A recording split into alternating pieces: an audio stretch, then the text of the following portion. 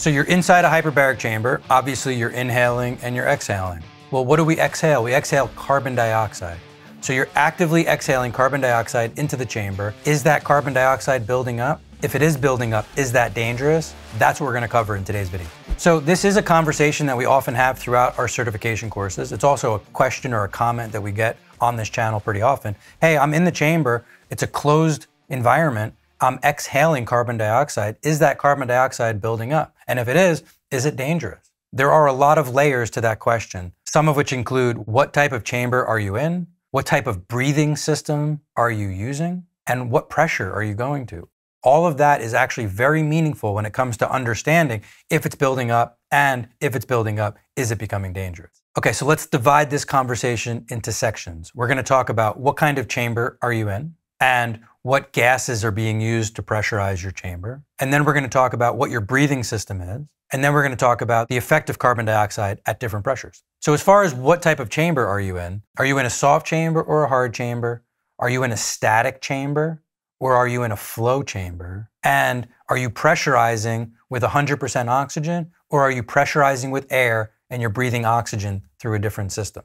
What do I mean by a static chamber or a flow chamber? A static chamber would take a certain gas, it could be air or it could be oxygen, it would pressurize that chamber to whatever the treatment pressure is going to be. Air and oxygen would stop flowing continuously. It would get to that pressure, and then you can vent the chamber periodically to get some fresh air or some fresh oxygen back into the chamber. Or you can use an additional air or oxygen to pressurize the chamber deeper if you felt like you needed to do that. But in those systems, there's not a continual refreshing of air, meaning as you're exhaling, that carbon dioxide might be building up in the chamber. Contrast that to a flow chamber. A flow chamber, whatever gas is being used to pressurize the chamber, is filling the chamber, it's pressurizing the chamber. And once we reach the treatment pressure, instead of that flow of air stopping, it continues the entire length of the session. And it does that because it's constantly refreshing the air and it's constantly refreshing the oxygen inside that chamber. Two benefits of that is number one, you're constantly getting refreshed air and oxygen. But number two, any other gases that might be building up in that chamber are also being released. In a static style chamber, if they're not being released continuously, there should be a device inside that chamber called a CO2 scrubber. And a CO2 scrubber is a device that would actually help filter out any additional carbon dioxide from building up. In either one of those two chamber cases, there's the awareness that carbon dioxide might be building up, and there's a solution for it. In the static chamber, the solution is a CO2 scrubber, and in the flow system, the solution is the refreshing of air continuously throughout the entire treatment. Now, again, depending on what your breathing apparatus is, would also make a difference. Some chambers are pressurized with 100% oxygen. And so your breathing system is just the gas that is surrounding you in the chamber. As you breathe in, you're breathing in 100% oxygen. As you exhale, you're exhaling some oxygen and some carbon dioxide. But again, in that system, there needs to be a CO2 scrubber. In a system where there's a mask, but that mask is not necessarily well fitting,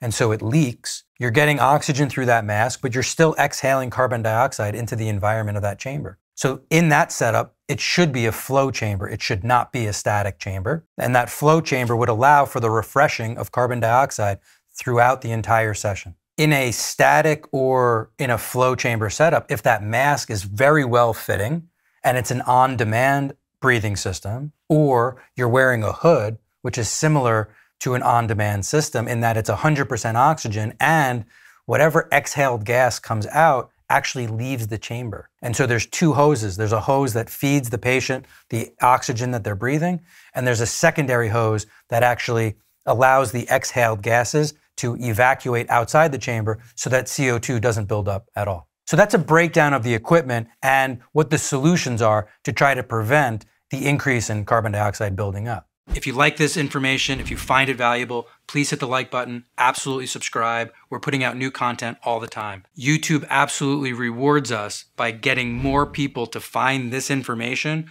when more people are liking and subscribing. So please allow us to help other people as much as we're helping you. Like it, subscribe it, and send this video to somebody that you might think will benefit from it. Now, in traditional hyperbarics, carbon dioxide is considered a bad gas. In fact, when we talk about central nervous system oxygen toxicity, obviously, in order for oxygen toxicity to occur, we need high levels and high pressures of oxygen. However, the real trigger for setting off central nervous system oxygen toxicity isn't oxygen, it's carbon dioxide. Oxygen is a vasoconstrictor, carbon dioxide is a vasodilator. And so, as you're exposed to high levels of oxygen, you're getting some vasoconstriction to restrict some of the flow of the excess oxygen specifically to the central nervous system. Carbon dioxide, on the other hand, is a vasodilator. And so, if your body's trying to vasoconstrict to protect your central nervous system, but you're rebreathing a lot of carbon dioxide, that increase in carbon dioxide is going to vasodilate instead of vasoconstrict, increasing the amount of oxygen reaching your brain, thereby increasing your risks of central nervous system oxygen toxicity. Now, for the most part, that's something that really happens at pressures of a PO2 of 2.0 or greater. It's really not as much of a concern at lower pressures as it is at higher pressures, but it's still something that you ought to be aware of. And we did an entire video series on oxygen toxicity. So we went into great detail about central nervous system oxygen toxicity as well as pulmonary oxygen toxicity. So please go take a look at those. At lower pressures, as I said, there's a far less concern of that vasodilation creating central nervous system oxygen toxicity. You might even say at mild pressures of hyperbaric, a little vasodilation isn't necessarily a bad thing. In fact, at lower pressures of oxygen, we might put patients in a red light environment prior to their session because we know that red light is going to stimulate vasodilation. And that vasodilation will encourage the body or help the body carry more of the extra oxygen that that patient is receiving inside the chamber environment. So not only is breathing a little extra carbon dioxide in a mild hyperbaric environment not dangerous, but there's an argument to say it could even be beneficial as it helps to also